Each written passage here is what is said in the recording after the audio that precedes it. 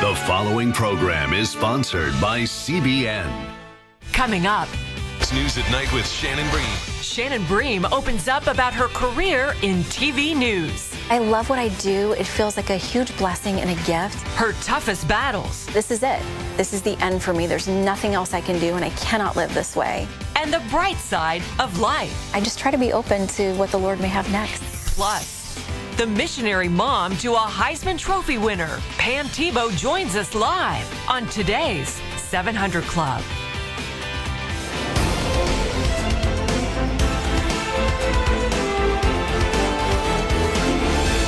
Well, welcome, folks, to this edition of the 700 Club. From what we gather, satellite photographs have shown members of the Revolutionary Guard, Iranian Guard, placing what look like missiles on small craft in the uh, Persian Gulf. And this may be what triggered the alarm where President uh, Trump was saying all personnel in Iraq need to be uh, uh, evacuated. Uh, it hasn't been shared with Congress and it hasn't been uh, made public. So, is that the cause? It may well be, and Iran may well be planning some uh, violent action in the Gulf. We just don't know that yet. But turning closer to home, on April alone, 100,000 people tried to enter our country illegally. 100,000. And that's just the people who were detained at the border.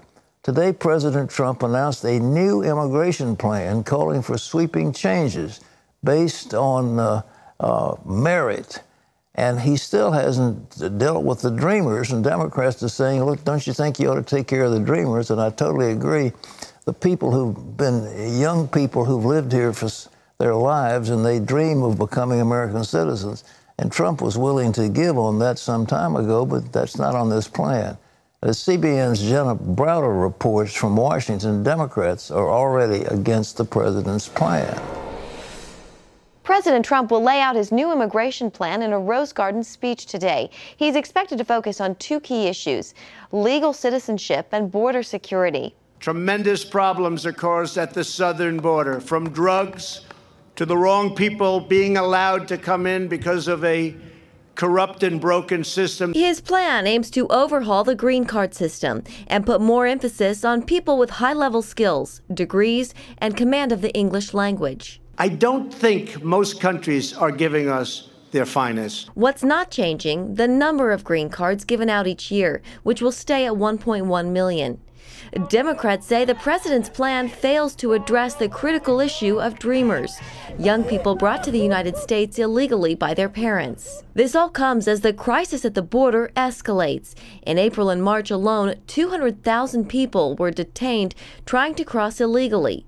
Now backups are being called in to help. CNN reporting the Transportation Security Administration will send hundreds of officials to help control the overflow of migrants. Senator Lindsey Graham has released his own immigration plan that seeks to reform the asylum process.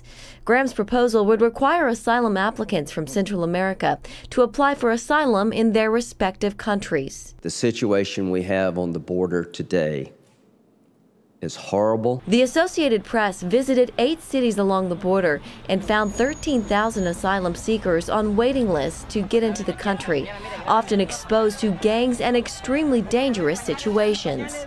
Democrats say they must be a part of this conversation, and some Republican lawmakers agree. Without cooperation from both sides, the president's plan has little chance of getting anywhere. In Washington, Jenna Browder, CBN News. Thanks, Jenna. As I said at the start, at the top of the show, in other news, the White House says surveillance photos show Iranian-backed militia loading rockets onto small ships in the Persian Gulf. John Jessup has more on that story. Thanks, Pat. The New York Times reports senior administration officials are revealing information to counter claims that there is no significant threat from Iran.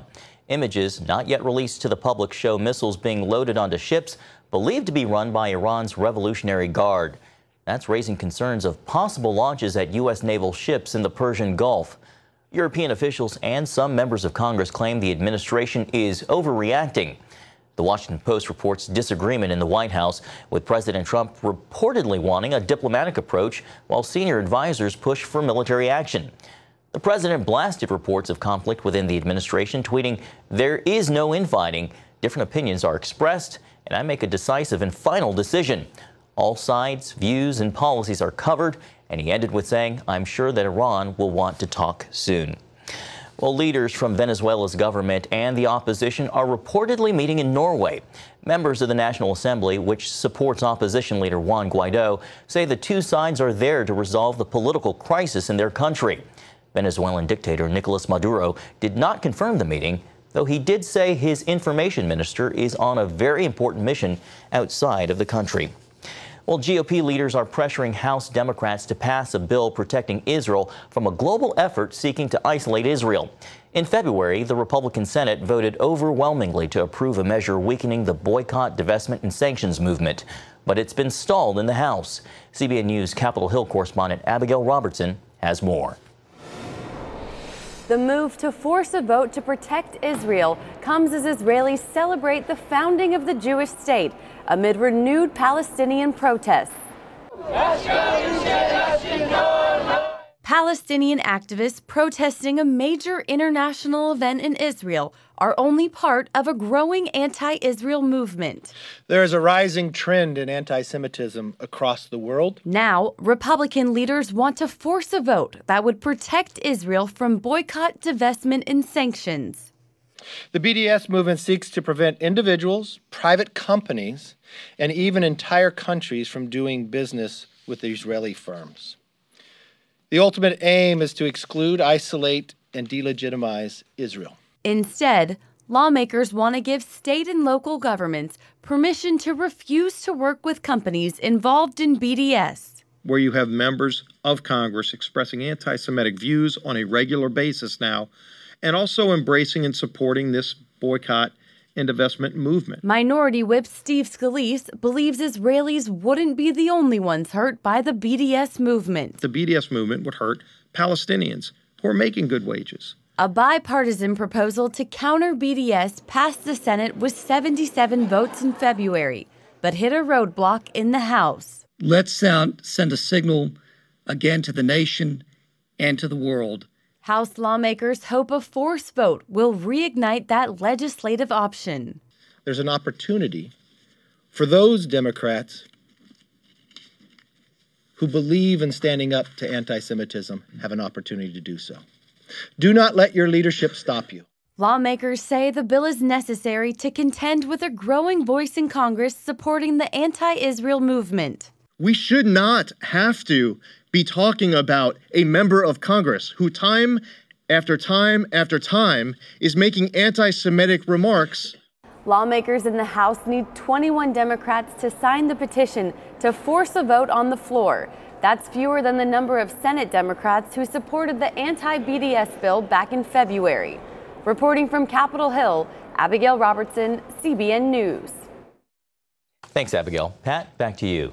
Uh, I don't know why the Democrats don't condemn the remarks that have been made by that member uh, who has been so anti-Israel, whose statements have been so extreme. And that lady still sits on the Foreign Relations Committee of the House of Representatives. And uh, uh so far, the leadership has not taken, uh, you know, condemnation action in any way, shape, or form. And I don't think the Democrats want to be perceived as anti-Israeli, but it looks like that's the way it's coming down. Is uh, the Republicans are now the pro-Israel party, and the Democrats are turning out to be the anti-Israel party. And I wonder if the Jewish uh, uh, donors who have so vigorously supported Democrats in the past will continue to do so. It seems like they ought to switch sides. John? Pat, Alabama Governor Kay Ivey signed the toughest abortion bill in the country into law Wednesday night. The governor said the bill is a powerful statement to Alabamians' deeply held belief that every life is a sacred gift from God. All human life is precious. The law makes abortion at any stage of pregnancy a felony, punishable up to 99 years in prison for the abortion provider. There is no exception for rape or incest, only if the expectant mother's health is at serious risk. The law doesn't go into effect for six months, but is expected to face legal challenges to stop it. And that's the goal to go to the Supreme Court to overthrow Roe v. Wade, the 1973 landmark decision that legalized abortion nationwide. Louisiana is poised to pass a, ban, uh, a law banning abortions after a fetal heartbeat is detected, and Pat, Missouri is also close to passing one banning abortions after just eight weeks. Well, there are many, many states that are now passing these bills.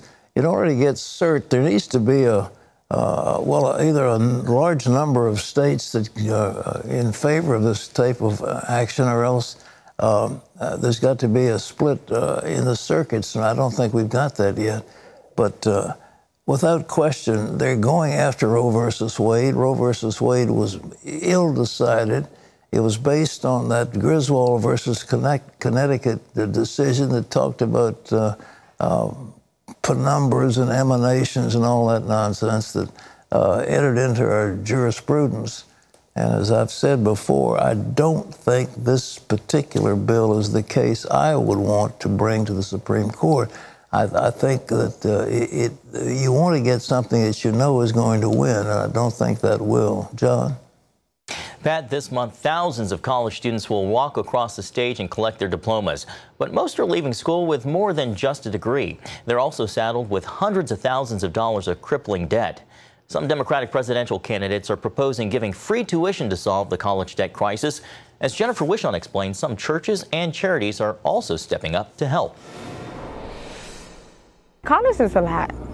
It's a lot of money. Maya Thompson is a graduating senior at Howard University. She's also a mom. So, um, some days I work five days a week, and some other days I work two days a week. Recently, she and 33 other Howard students received some divine intervention, courtesy of a D.C. area church. Over 40 days, the congregation of Alfred Street Baptist Church fasted, prayed, and gave as God guided them. This is the fruit of the $100,000 they raised. We heard the Lord say we ought to do something good for some people who are getting ready to graduate. So Came over here to Howard. Mm. Uh, pulled out the names of seniors who had some holds on their account just because of balances that were left over after financial aid and all that. And we want to let you know your account has been paid in full, man. You're clear to graduate. Oh! Tuition at public universities costs three times what it did in the late 80s. Graduating seniors can rack up twenty to forty thousand dollars in debt by the time they collect their diplomas. Nationwide, Americans owe one and a half trillion in student debt. So how did students get into this mess of debt? Some say the government is to blame. Colleges know students have easy access to billions in federal aid, encouraging them to drive their tuition prices higher and higher. We're seeing the price of college increase exponentially. Mary Clare Amselem follows college trends for the Heritage Foundation. If we had a robust private lending market, we would have private lenders competing to give uh, loans to students and colleges competing for students rather than the other way around. The situation is dire. A lot of students in my school, we share books. So like someone has the book, it's like, hey, can I take a picture of that page? Some students find themselves choosing between college expenses or putting food on the table. Reports from Mississippi and Kentucky reveal the growth in students turning to food pantries. As for Maya Thompson, she plans to return to Howard next year to surprise a student with a gift in the same amount Alfred Street Baptist Church gave to her. I can't wait to put a smile on another student's face next semester. A good deed put in motion by a faithful congregation. Jennifer Wishon, CBN News, Washington.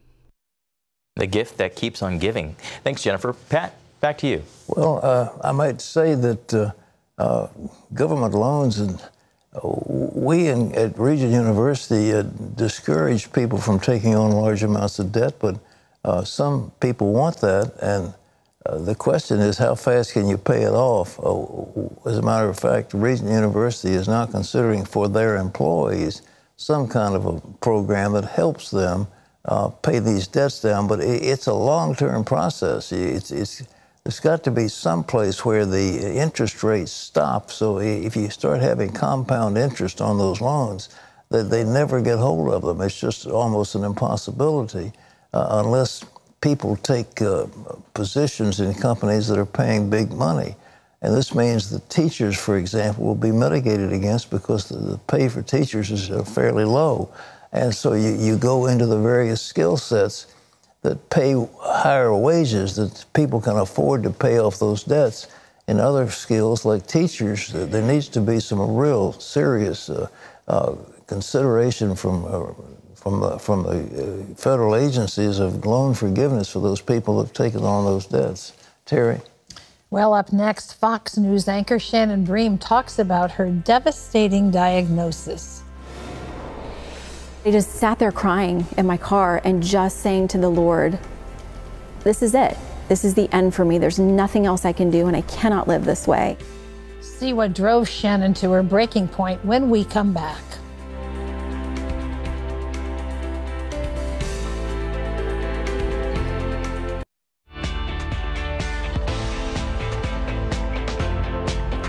Well, she's a beautiful lady, graduate of Liberty University, I might add, and the law school, I think Florida State. And Shannon Breen is the host of the primetime program Fox News at Night. In her first book, Finding the Bright Side, she opens up her, about her life's journey and some of the highs and lows along the way. CBN's Jenna Browder sat down with Shannon and discovered that faith is the central theme of her life. Here it is.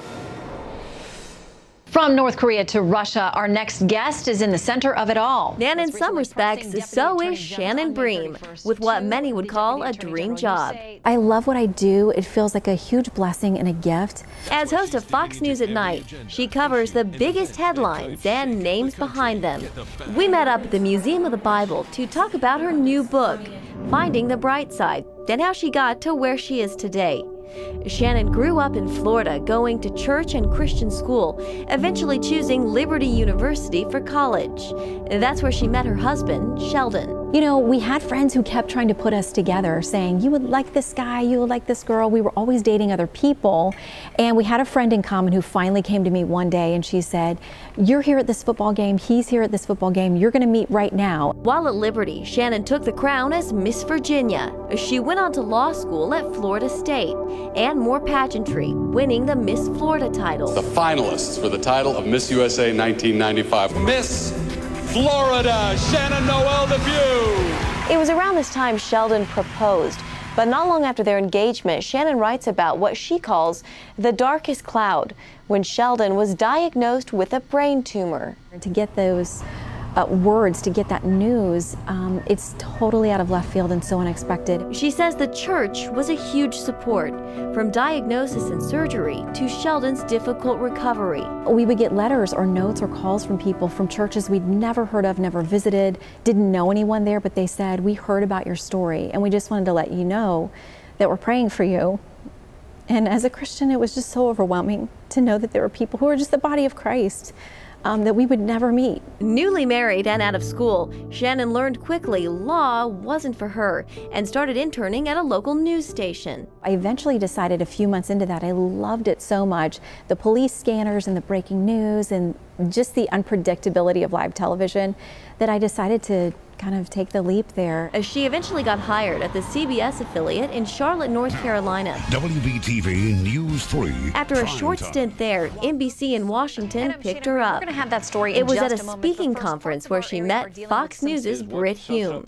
When he learned about her legal background, he offered her a job on the spot. I had the opportunity to sit down with President Bolsonaro today. It didn't take long for Shannon to begin moving up at Fox, filling in on the anchor desk, and eventually getting her own show. Fox News at Night with Shannon Bream. One major trial she's had to deal with is her eyesight. Around my 40th birthday, I started to have extraordinary pain in my eyes, and it was only happening overnight. She says doctors were unable to help her.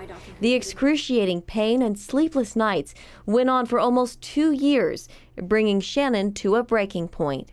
Shannon says she and Sheldon prayed, if not for healing, for someone who could at least help her. And that prayer was answered. Shannon found a doctor who was able to diagnose her, but he was upfront and let her know there would be no cure. But I just sat there crying in my car and just saying to the Lord, This is it. This is the end for me. There's nothing else I can do, and I cannot live this way. And um, I explain in the book how I'm not someone who ever feels like I've audibly heard the voice of God, but I felt in my spirit and I heard him say to me in that moment, I will be with you. Shannon went back to that doctor who was able to help her manage the pain and eventually recommended surgery. Today, she says her eyes are not perfect, but they're about 95% better than they were. As for what's next, she's not sure, but is keeping an open mind and heart. So I try to say to myself, this is the season that the Lord has you here. Don't hold too tightly to it because you don't know what other adventures or things are coming down the line. And um, I just try to be open to what the Lord may have next. In Washington, Jenna Browder, CBN News. Well, Shannon Bream's book is called Finding the Bright Side. You can find it wherever books are sold. We hope it does well. She's a very, very lovely lady, and we wish her the best. Mm-hmm. Terry? Smart, too. Oh, yeah. I didn't know she was a Miss Florida. That's Yeah, I, I, I don't know what competition that was in. You know, there yeah, They have different ones. Yeah, I don't I don't really know. I didn't know that either. She was a Miss beautiful. Virginia, apparently? Mm-hmm. How about that? Well, all right, well, well, we learn all kinds of things watching this program. we do. Up next, the mom who was thrust in the national spotlight when her son won the Heisman Trophy. Pam Tebow joins us live right after this.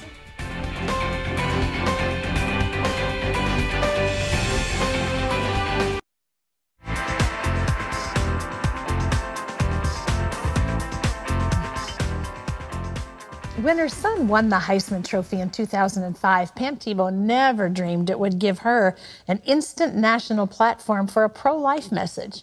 But that's exactly what happened, and the ripple effects continue today. Take a look. Pam Tebow and her husband Bob lived for a number of years as missionaries in the Philippines sharing the gospel. Yet she never expected her family's name to be known around the world. But when her youngest son Tim won the Heisman Trophy in 2007, details of his birth were featured in the news. While pregnant, Pam chose life for Tim against a doctor's advice, which instantly gave her a national platform for a pro life message. In her book, Ripple Effects, Pam shares how everything you do has an effect on others and how you can make a positive difference in the lives of those around you. Please welcome to the 700 Club, Pam Tebow. Pam, it's great to have Thank you, you here. It's great to be here. Your book, Ripple Effects, just out? Yes, How, last Tuesday. Last Tuesday. How wonderful. What a great message you share. And it's evident in, in Tim's life as we've all watched your son walk out some challenges. But um, another way that, of saying that, in a sense, is that every, every action has a, a reaction to it. But you were able to teach that to your children at a young age. How did you pull that off? well, I think I was desperate as a parent that I really wanted to impact their little lives. Mm. And I taught them early on that whatever they do will impact the lives of other people. You know, I have some fun illustrations of how I do that, but I'm so glad that it took. You know, that's really God intervening and giving me wisdom, but more than that, giving them the heart to listen to and then to carry it out. Right. Well, words are so powerful, and you talk about that in the book. And you and I were just talking for a moment before uh, we came out of that commercial about how your husband spoke something into Tim's life long before he was known or famous for his football. And it was it's almost like a prophetic word from a parent to a child. Talk about that. Well, he told Timmy he was an athlete from very early on. We could tell he was gifted. My husband said, Son, if God gives you uh, an opportunity to be successful mm-hmm. at sports, then you need to use your platform to honor him yeah. with. And so Timmy took that seriously. Well, and you all have shown that by the way that you've lived your lives. I mean, as I read your book, I thought you and your husband are really risk takers. I mean, that would be my husband. I just followed along. but you don't walk on the easy side of the street. you no, make choices and decisions that right. have impacted your family, like moving to the Philippines when, right. when your family was very young. That's right. And beginning a ministry there that continues today. What impact do you think that had on your life and on your children's lives? Oh my goodness, I don't think we'll know until eternity yeah. because my husband has a passion for the gospel. And so my kids picked it up and, you know, they grew up as youngsters mm-hmm. in the mm-hmm. Philippines and then they went on mission trips every year. And they saw my husband start an orphanage in 1991. They saw him start a safe house for rescued girls. And our oldest daughter and her family are missionaries in a very hard place, harder than the one we went to. And I'll never forget when she came to me and she said, Mom, Joey and I can't wait to trust the Lord for our missionary adventures like you and Daddy did. Wow. And so they watched my husband and I trust the Lord. They watched all the circumstances, especially her as the oldest. They watched what we went through and they realized that you can trust the Lord and that he's faithful and trustworthy. So they were excited about their own adventures to come and they've had them. They've had You, them. you talk about that in the book um, when you talk about your love and Tim's love for poetry, mm-hmm. and you share a mm-hmm. little poem, mm-hmm. kind of a reminder to all of us, really, that people are watching us. They're watching the way that we live, what we say, how we walk it all out. Another way that you were a risk taker and influenced in that way was you became a homeschool mom and that wasn't really the popular thing to do. That was not that was not me either. My husband came up with the idea before it was a word, before homeschool was a word. No one did it. And he said, honey, we're going to homeschool. I thought, we're going to do what? And I thought if I submitted to him, that God would surely change his mind. and then 25 years later, I got to retire. But, you know, the Lord knew that we would go to the mission field after that. So I'd have to know how to homeschool. Mm-hmm. We went to the mission field at a time when most missionaries thought they had to send their kids to boarding oh, school. boarding school, And they watched us homeschool our kids. And I think it encouraged a lot of them that they could do that too. And we have two with dyslexia. And that made a difference, being able to protect them early on from the criticism that they would have received. And, you know, Timmy writes about dyslexia in his book because he wants all those kids out there to know if they have some kind of a learning mm-hmm. disability, God didn't make a mistake. He wired them like that. And Timmy is so competitive that he, he, Actually, he won the academic Heisman too. He said, "As long as I'm going to college, I might as well give it my all." And and I think he wanted to prove to people that dyslexia couldn't couldn't hold you back. Don't label me. That's right. Don't label me. And people do that, and they're Yes, wrong to they do that because God, God's the one that's in charge. But what an impact you had an opportunity to have upon your children because you had that kind of time, that kind of focus, that kind of intentional parenting with them. I mean, it's quite remarkable. One of the things you did um, in this whole ripple effect concept in teaching them what you felt mattered and was significant was to teach them through songs. Talk about that a little oh bit. Oh, my goodness.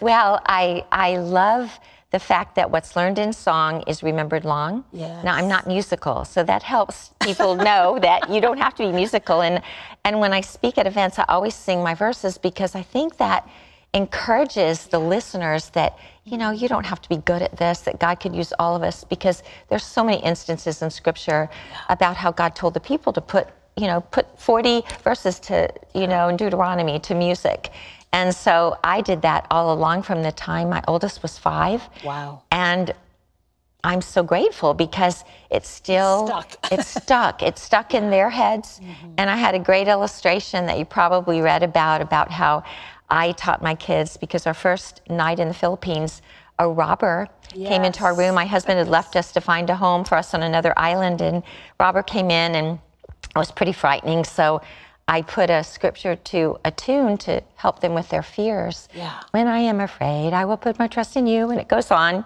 And then I, um, I sang that to them every night when they went to bed. A couple of years ago, I had the opportunity to be with my two daughters and five little grandkids at a birthday party for one of them. And then after a long day of party and play and all of that, the girl said, Mom, you go put the kids to bed. And they were wild and crazy. and so I told them a story, and they said, Grandma, sing us a song. So I started to sing, When I Am Afraid, I Will Put My Trust in You. And every one of those five kids sang along with me. And I realized that was the ripple effect because I had taught that to their parents, and their parents taught it to their kids. And I was so overcome with emotion because God did that. I could have never envisioned, never So he, he does so much more than we can imagine. Absolutely. So the ripple effects, it is something that impacts all of us. And you need to read the opportunities you have to have a ripple effect on the people in your life. And not just the people in your life, but when you're not even looking, the world all around you. It's available wherever books are sold. You'll enjoy hearing more about Pam and her family and their life. In fact, if you'd like to hear more from her, go to our Facebook page, facebook.com slash 700 Club. Thank you so much. so what welcome. a great Thank message. you. Good Thank to you have you having me, here. Terry. Ripple effects. Mm. Well, still ahead, a suicidal drug addict who was holed up in his parents' bedroom with his dad's gun to his head. I had daily thoughts of suicide. I had no friends because I'd driven most of them away. I just didn't want to be a part of life. Find out what saved his life. That's coming up.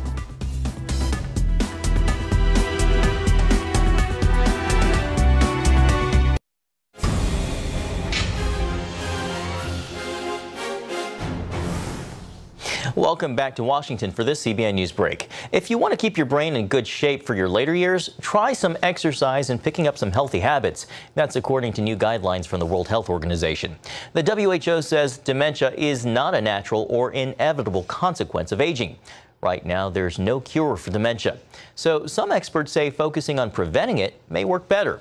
That means getting enough exercise, avoiding bad habits like smoking, overeating, and drinking too much.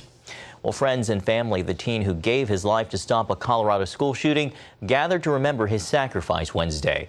Kendrick Castillo bravely helped stop a school shooting in Highlands Ranch near Denver. He was shot and killed attacking one of the shooters. Castillo was known as a robotics junkie with a big smile who ushered at, sa at Saturday Masses. His father and teachers remembered an exceptional young man they said was always willing to help others. Well, you can always get the latest from CBN News by going to our website at cbnnews.com. Pat and Terry will be back with more of the 700 Club right after this.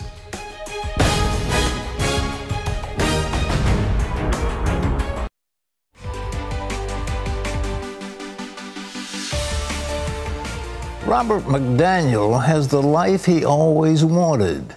He has a wife, a child, and a career that allows him to travel the world and surf the waves. But at one time, Robert was a miserable drug addict who almost ended his life before it really began. Once you catch your first wave, you know, you you fall in love with it. I think everybody that's ever caught a wave, I don't think you can help but fall in love with it. The traveling, uh, the adventure, you know, surfers go to crazy places to seek out waves and have crazy adventures from it, and I liked all of that. When Robert McDaniel discovered surfing in his early teens, it was a bright spot in a life that was otherwise dark and empty. I was insecure. I didn't believe in myself. I didn't I didn't think that I had value. What's this life all about? Without any belief in God, I couldn't answer that question. I couldn't answer what's my purpose in life. Prescription drug abuse gave him a short term escape from his thoughts, but it came at a high cost. When I got into drugs, I stopped surfing. I stopped all water sports and stopped skateboarding, all these extreme sports that I loved.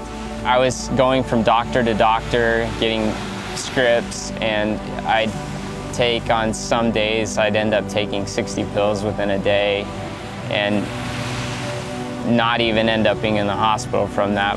It turned into other drugs, cocaine, and some street drugs. I had daily thoughts of suicide. I had no friends because I'd driven most of them away. Robert's suicidal thoughts eventually became suicide attempts. I just didn't want to be a part of life. I went to my mom's house. I knew my dad had guns in his closet, and so my mom was there. She knew something was going on, but I had locked their bedroom door after I went in, so she immediately called the cops, and I walked into my dad's closet, grabbed one of his guns, and was looking for the ammunition, trying to match the, he had a box of ammo. When I found some, about the same time, uh, three or four police officers broke down the door of the closet and I had a gun to my head. And then one of them shot a rubber bullet hitting my hand, knocking the gun out of my hand. And that followed with me getting uh, put in a behavioral correctional facility for two weeks. And, and as the drugs left my system, I felt more and more like, hey, this is not the life I want, you know, but I still didn't know the life that I wanted. Soon after, Robert met for coffee with an old friend who was a Christian. I remember telling him, I don't think I can change and I don't think I can stop doing what I'm doing. He challenged me, he said, hey, you got to give God permission to work in your life, you know. So much of your life you've spent running from him and what I'd like you to do is just write down on a piece of paper a contract with God, just telling him, God, I give you permission to work in my life, to change my life. So I did that. I wrote down, God, whatever it takes. Desperate to hear from God, he opened a Bible to Isaiah and began reading as he entered his house. I was in tears because I was wanting so badly for God to intervene in my life. And I closed the door, simultaneously reading this verse that said, Close the door behind you. I knew the Bible's a big book, and of all the scripture I could have been reading, I was reading Close the Door.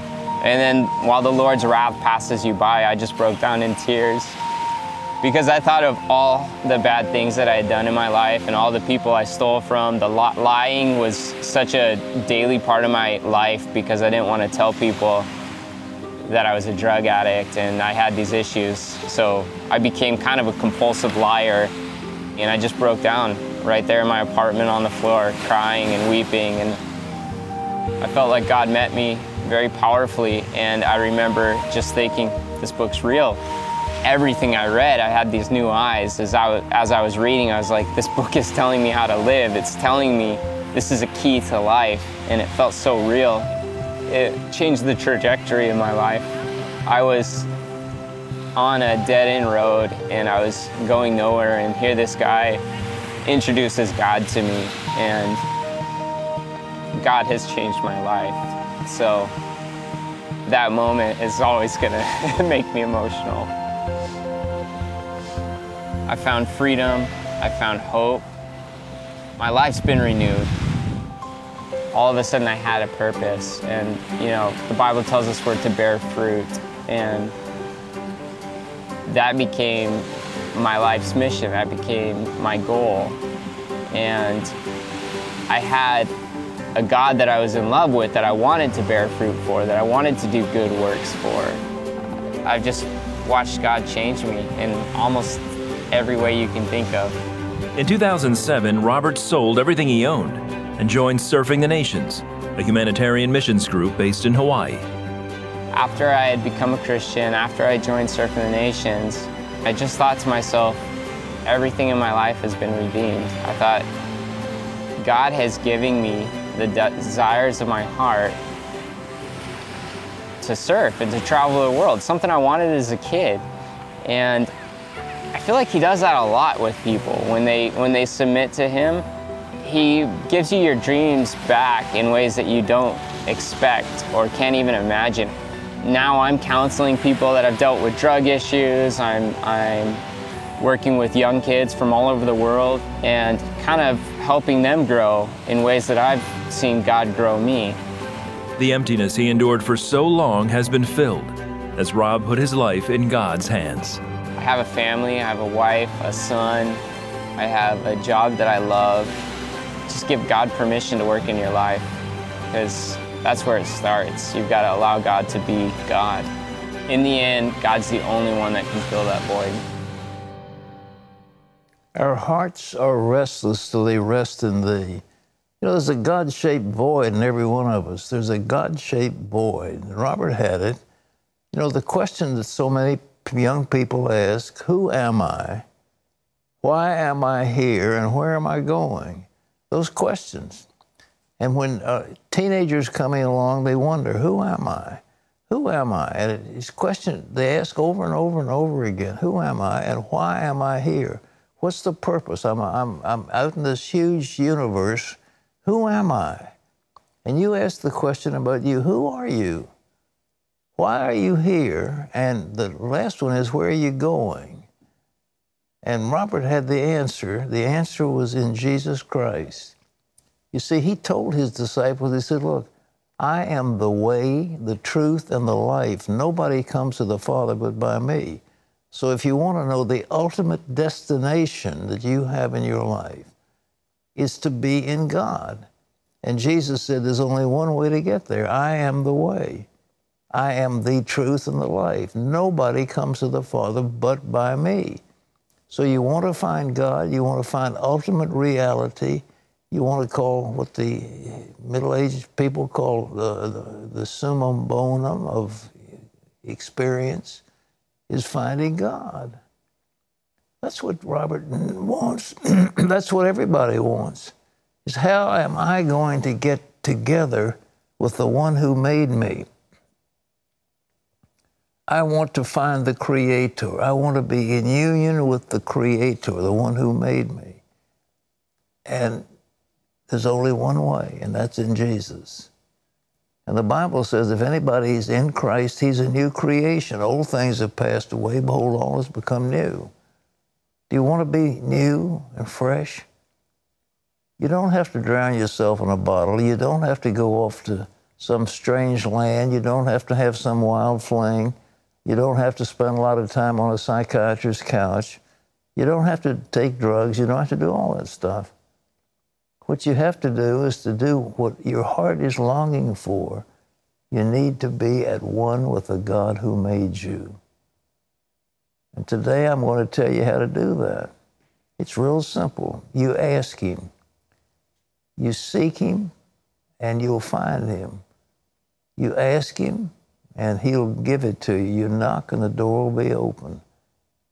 If you want the door to be open, call upon the name of the Lord. So, right now, if you want to know ultimate reality, if you want to be in touch with the one who made you, if you want to know really who you are and why you're here, I want you to pray with me right now.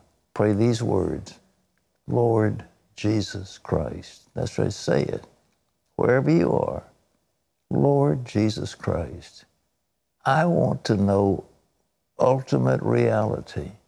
I want to know who I am. And I know that I'll never know until I meet my Maker. And I know that you said you are the way to Him. And I want you to be my guide to lead me to the Father. And so I come to you right now, Lord, and I open my, heart to you and I say, Come into my life. Live in me. And I thank you. I thank you. Let me pray for you, Father, for everyone who prayed with me and said those words. May the anointing of the Holy Spirit touch them from this moment on. May they be filled with your Spirit. In Jesus' name, amen. If you prayed with me just then, I want you to do something. I want you to tell somebody, I just prayed. I have just found the Lord. And I know Jesus Christ is the way, the truth, and the life pick up your telephone and call in. It's 1 800 700 7000. Somebody's here who loves you. And by the way, I've got something I want to give you. It's a little packet called A New Day. It, will answer a lot of your questions. And in here is a, is a little uh, compact disc. It's about 73 minutes of very intense teaching about uh, what it is to be a new creature in Christ. So call right now. I'll send this to you free. 1 800, toll free number, and no money involved, won't cost anything. It's all free. So pick up your phone, call in right now. Terry? Well, still ahead, your questions and some honest answers. Marcos asks, What did Jesus mean when he instructed us to turn the other cheek? Stay tuned for Pat's answer. It's coming up right after this.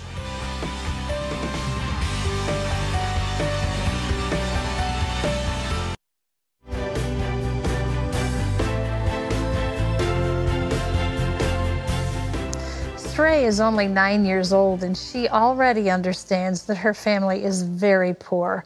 When they don't have anything to eat, they simply starve. CBN's Orphans Promise is committed to helping families like Srey's not only to survive, but to thrive. Take a look.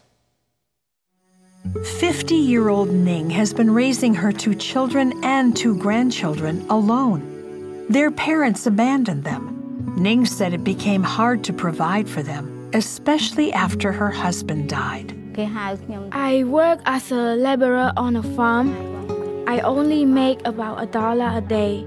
This is nine year old Srey Nak. My grandma tries to give me 12 cents to buy food at school, but most of the time she can't afford it. I'm not mad. I understand that my family is very poor. When we don't have anything to eat, my grandkids and I starve. Then one day, CBN's Orphans Promise provided some help. With the goal of helping vulnerable children stay with their moms, we trained Ning how to manage a small business. They taught me about how to save and reinvest the money I earned. Then we gave Ning four piglets to raise and sell. When they were fully grown, she sold them and earned enough to provide food for her grandchildren and enough to buy more piglets. Then she bought ducks and chickens to expand the business. Thank you to all the people who helped us. Without you, I don't know what we would have done. Thank you. We have, you and I, such an opportunity to make a difference. This little family was starving, and it wasn't that the grandmother wasn't willing to work hard. She was working hard. She just couldn't make it work for her family. You allowed us to come right into the midst of that need, and today they're thriving as a family. The children know that they're secure in their home. The grandmother is no longer feeling like she has to bear that burden alone. 700 Club members, we say thank you. Thank you for caring, for your generosity for your compassion for people. 65 cents a day, $20 a month makes you a 700 Club member. Will you go to your phone and call now and join with the rest of us? Our number is toll free. It's 1 800 700 7000. Just say you want to join the 700 Club. And when you do, we have a gift for you. It's Pat's latest teaching, The Plan. You're going to love this. God has a plan and a purpose for your life, and He outlines what the scripture has to say about that. It's a promise to you from God Himself. So we want you to have this. It's our thank you for joining the club and helping us help others. Time for some emails. Let's go ready? forward. Let's go forward, yes. This is Marcos who says, What did Jesus mean when he instructed us to turn the other cheek? well, that's pretty self-evident. Uh, look, if somebody hits you, the average person is you'll hit him right back. and, and what Jesus said, that's not the way I want my disciples to do. If somebody hits you, you say, okay, you hit me on this side, go ahead and do it again. I'm not going to fight you back. And uh, that's what he is, he's saying.